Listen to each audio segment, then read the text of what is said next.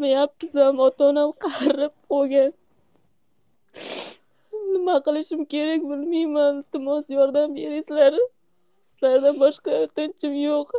Agar bizga ma'lumotga chiqmoqchi bo'lsangiz o'zingiz eksoningiz bo'ladigan bo'lsa plyus to'qqiz yuz to'qson olti yetti yuz to'rt yetmish to'qqiz yetmish to'rt yetmish to'qqiz telefon nomerlari whatsapp telegramlarimiz bor.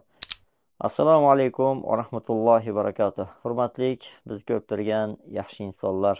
Alloh taolo sizlardan rozi bo'lsin. Mana bugun shunday bir jajjigina sinimizni oldiga kelib holatlarni ko'rdik. Albatta har bir videomiz yo'qchilikdan kelib chiqyapti. Shunday videolarga befarq bo'lmaysizlar degan umiddaman. Hech qaysi xonadonda bolalar kasal bo'lmasin ekan. Bolalar ikkita bolam ko'chada qoldik hammamizni qiynalib ham ketdik. Agar unga qaramasak ertaga bepush bilan bo'lib qoladi. Bola o'smaydi вообще rivojlanmaydi deyaptilarda. Iltimos yordam beringlar hozir ota onam bor anavi qilolmayapti.